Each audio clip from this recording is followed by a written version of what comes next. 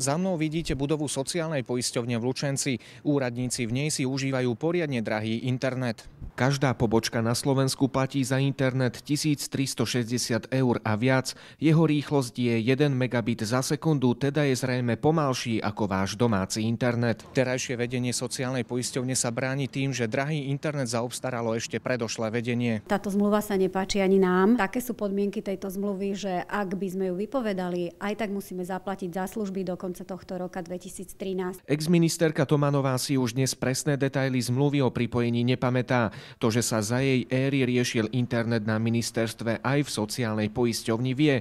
V mysli sa je vynára ekonomicky výhodná ponuka. Do rúk som dostala informáciu, že vlastne je to výhodnejšie z hľadiska ekonomického a po právnej stránke je to v poriadku. Ani vtedajší šéf sociálnej poisťovne dnes už presne nevie, ako sa riešilo pripojenie pobočiek na internet. Podpisoval vraj veľa zmluv a vždy sa pokúsil čo to ušetriť. 4, za celú dobu a ušetril som 33 miliónov eur. Od špecializovanej firmy sme si vyžiadali cenovú ponuku na podobný internet, aký nájdeme v tejto budove. Poslali nám cenovú ponuku v rozpetí od 50 eur. Požadovali sme garantovanú rýchlosť minimálne pre 30 počítačov. Cena stúpala od 50 eur. Za cenu 1360 eur by sme podľa hrubého výpočtu mohli pripojiť nie jednu pobočku, ako je tomu teraz, ale 27.